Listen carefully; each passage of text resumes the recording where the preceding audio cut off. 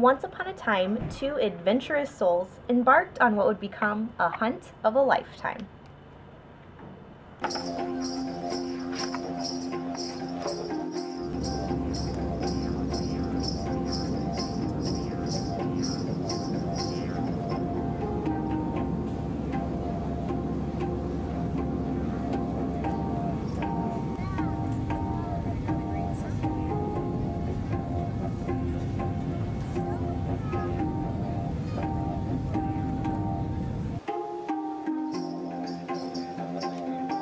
13 hours to Auckland, New Zealand, a little bit of a layover.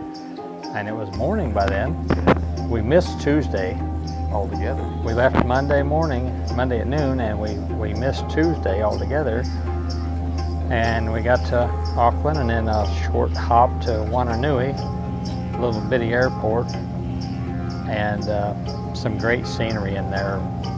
Nice mountains and, and some ponds, rivers, lakes, whatever.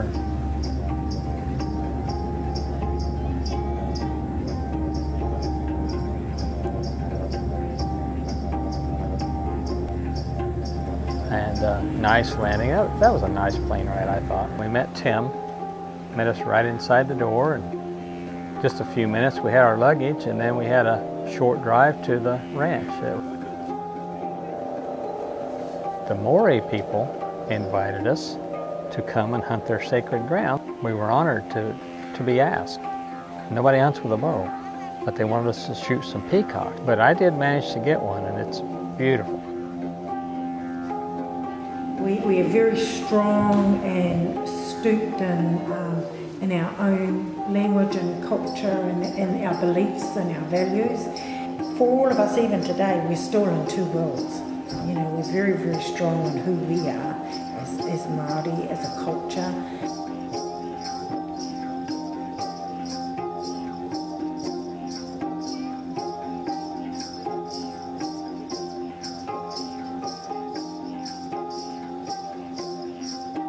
Everything's vertical, and the scenery is amazing.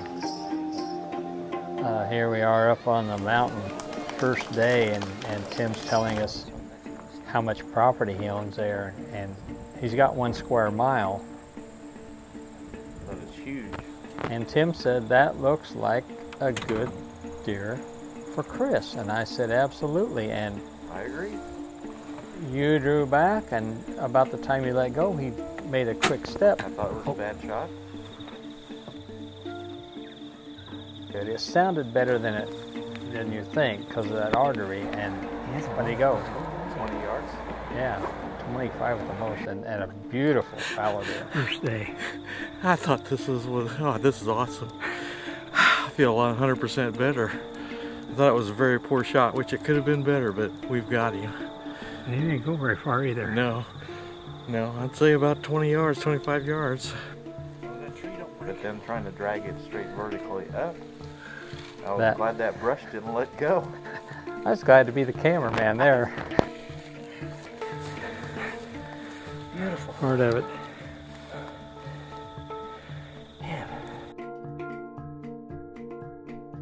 Every night, a, a different grand meal for dinner. Uh, we had got to eat our fallow deer. We got to have some of that. Uh, your red stag. Stag.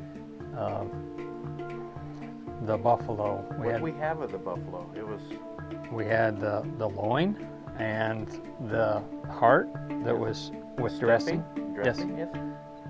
Excellent. Mm-hmm. And the tongue. Which was interesting. For a young lady, she prepared excellent meals. Kept us well fed. Yeah, and gee, many the breakfast. Huge. Huge breakfast. I mean, you're supposed to go out and hunt a little bit after you have breakfast, but all we wanted to do is go back and take a nap. This nice fallow deer made a habit of rubbing his antlers every morning by the cabin.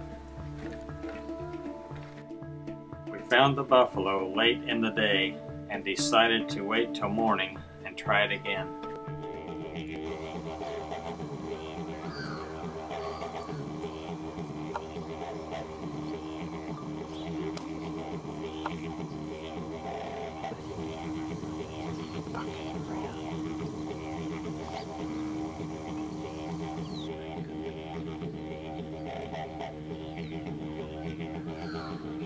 The stock. I made a long stalk around and ended up being out in the middle of nowhere, out right out in the open. But you didn't know how mean he was, did you? No, I didn't. Tim failed to tell me how mean this thing was. He kept saying, Danny, closer, closer. Why, he was going backwards. yeah. And after I was on the ground, he started telling me these horror stories, and, and there I was out in the middle of nowhere with this thing, and but made a decent shot on him and at uh, 50 yards, and Well, it was, it was tough to get close to him on the stalk because he had his two little generals watching. him. yeah, yeah. And those they were- weren't little either. those little guys were probably 1,500 pounds or so, and they looked like babies. But yeah, they were watching him pretty close, and uh, I was lucky enough to make a good shot. That's a money shot, Denny. Tim and Car and Rumble run an outfit here. They've got great stags and uh, really nice fallow deer. And a few months ago, Tim told me that he had my name on this buffalo. And I want to tell you that this is the toughest animal that I've ever put an arrow into. Looking for a good hunt in great surroundings. Check out Waitotara Valley Estates one of the prettiest places on earth and some of the greatest people you'll ever want to meet. Stick with us. We'll be back hopefully with Chris's red stag and maybe I'll get something else. Who knows?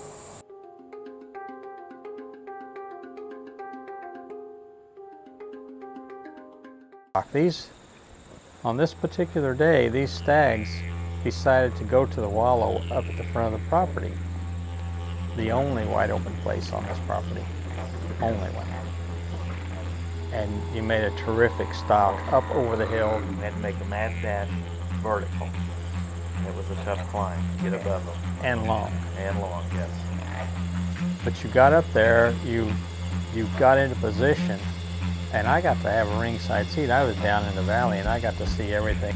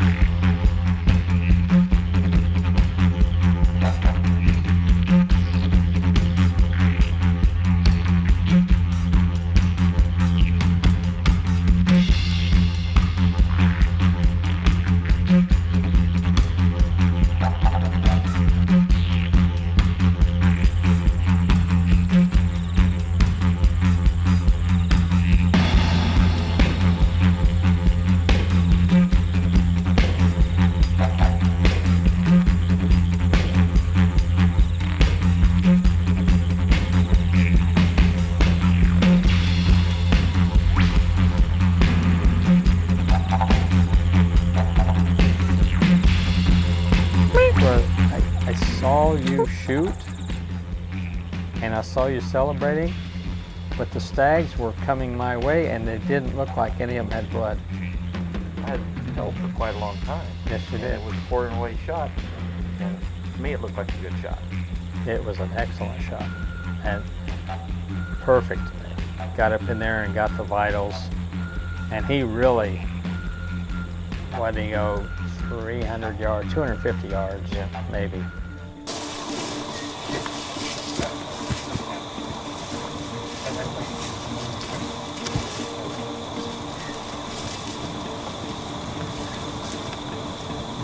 Okay.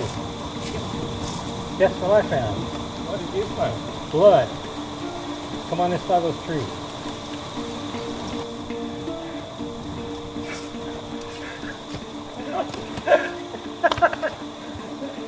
I couldn't believe it. Good job. Awesome.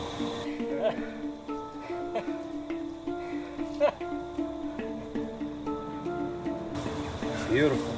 Beautiful animal. I wasn't sure because there's nothing, no blood on the other side.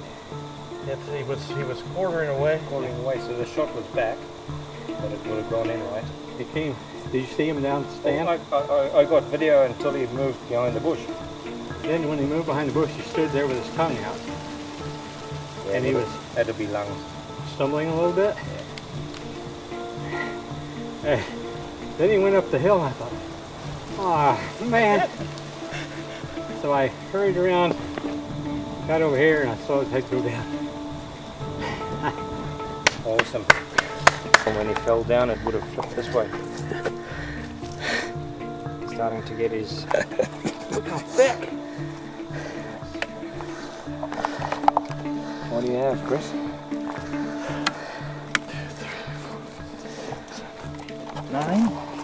Count? Yeah, yeah. Keep them. 11, 12, 13, 14, 15, 16, 17. 16.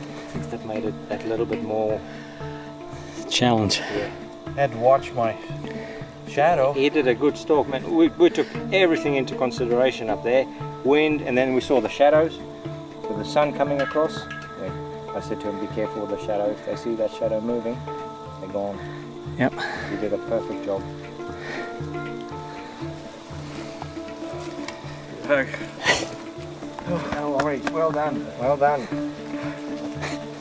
Beautiful animal. You got to be the first person to shoot a stag in Waitotara Valley, gun or bow, and you did it with a bow. That's awesome. One morning we went out, and I had tried to, to stalk this particular fallow four times. And the wind, uh, the uh, sun, always something, always something. He would sense I was there and leave.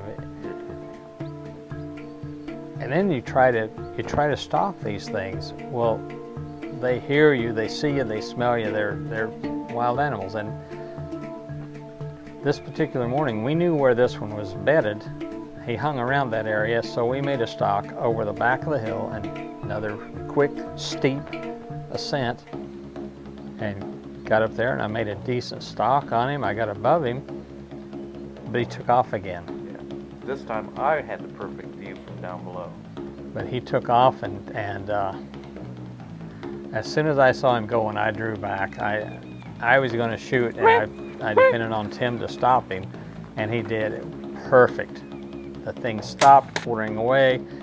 I got the shot off, and was lucky enough to hit him perfectly. Uh, And it, it, it was a good shot. yeah, I, what a great feeling.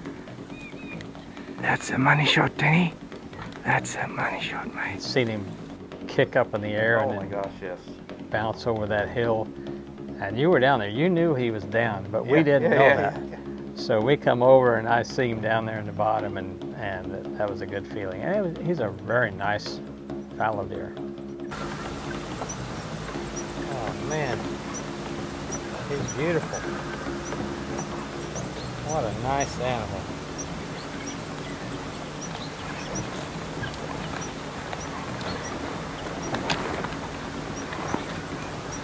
Can you believe it? Look at that beautiful ram. We made a stop this morning, back up over the hill. Had to come in from the bottom and go over the top, and he was laying down there, and I didn't see him until he jumped up. Tim made a little grunt, and he stopped, and I about 32 yards, and uh, boy, he's a pretty animal. Great to be hunting here in New Zealand.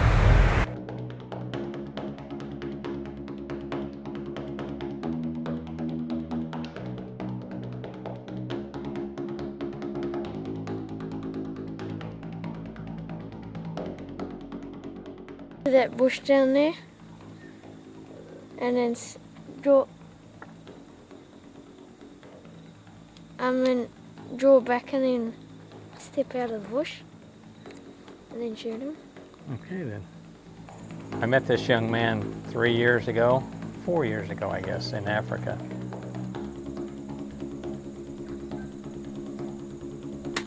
He got to go shoot this cull goat, which is a nice one. But he knew how he, how he was going to stalk it, and he made a perfect shot on it.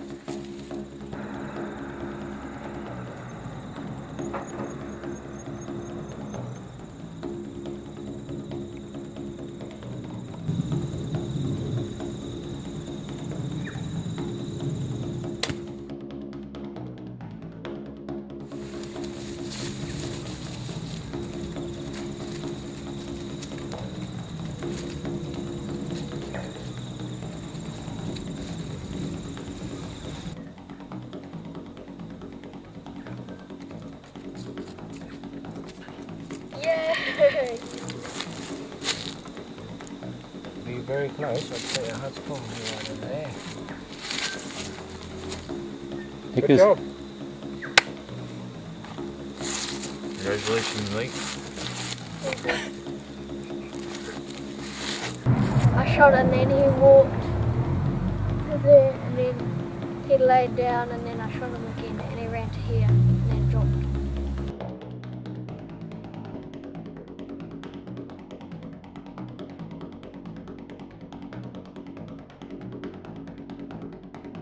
Marae grounds, we got to, they invited us to go hunting and, and we, I ended up getting a peacock there.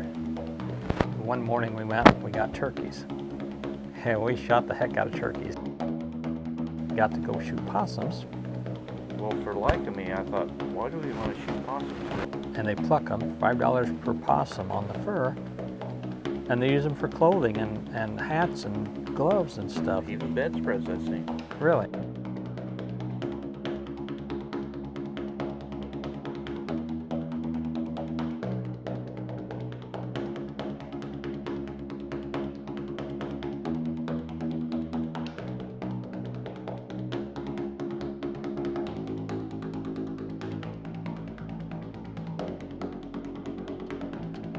Mount Taranaki seemed to be beckoning us back.